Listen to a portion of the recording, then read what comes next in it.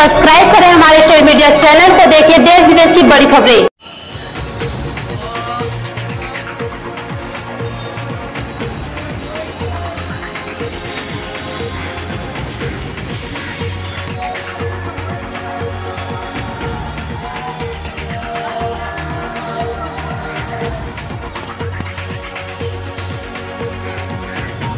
मैं ज़ियाउर रहमान ईदगाह मस्जिद लाट का इमाम खतीब हूँ। आज इस जुमा के अंदर सबसे पहले अपने नबी सलाम की लाइफ पर गुफ्तगु हुई कि हमारे मोहम्मद सल्लल्लाहु अलैहि वसल्लम की पूरी ज़िंदगी अमन व शांति और जुल्म के ख़िलाफ़ थी। आज भी कहीं भी किसी मुल्क में भी जुल्म व सितम होता है तो हम उसकी निंदा करते हैं और उस हुकूमत से भी कहते हैं कि उस पर सख्त से सख्त कार्रवाई की जाए और ऐसे तबके को निकाला जाए जो ऐसे शरारती तबके हैं, जो ऐसे उपद्रह को करते हैं और पूरा माहौल को ख़राब करते हैं। और हमारे हिंदुस्तान के अंदर, क्योंकि ये हमारा मादर वतन है। मादर वतन का मतलब ये है कि ये हमारी मादर भूमि है। हमारी भूमि ये है मादर हमारी यह भूमि माँ है। तो इससे भी हम तमाम फितनों से और तमाम बुरे तत्वों से और बुरे शरारती लोगों से हम कोशिश करें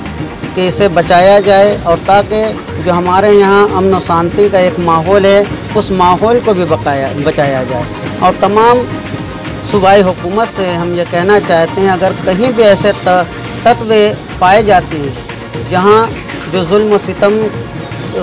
करते हैं या बुराई करते हैं या लोगों को भड़काते हैं उनको खोज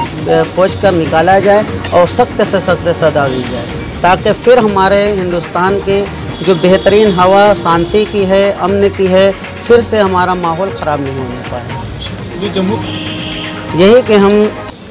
उसकी निंदा करते हैं ऐसा होना नहीं चाहिए था। और और हुकूमत से हम कहते हैं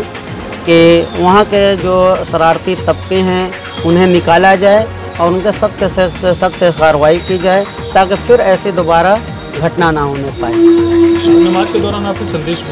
जी जी। कि यही कि सबसे पहले अफवाहों पर ध्यान ना दिया जाए और अफवाहों से बचा जाए और सबसे पहले जो अगर कोई ऐसा काम हो रहा है तो सबसे पहले हम अपनी हुकूमत के कानून की तरफ़ रुजू करें। तो अगर कोई ऐसा तबका मिल रहा है शरारती तबका तो सबसे पहले ख़ुद कानून न हाथ में ना लें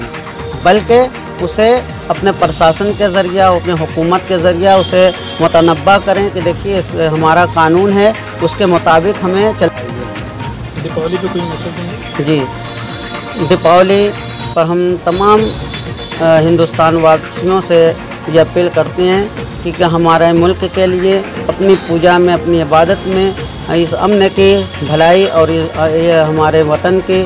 भलाई और तरक्की के लिए अपना भगवान से प्रार्थना करें कि अल्लाह ताला कि हम सबको इसको इस हिंदुस्तान के साथ साथ में रहने और साथ में अपनी ज़िंदगी बसर करने और साथ साथ हिंदुस्तान की तरक्की की तरफ़ हम सबको बढ़ने की तोफ़ी हो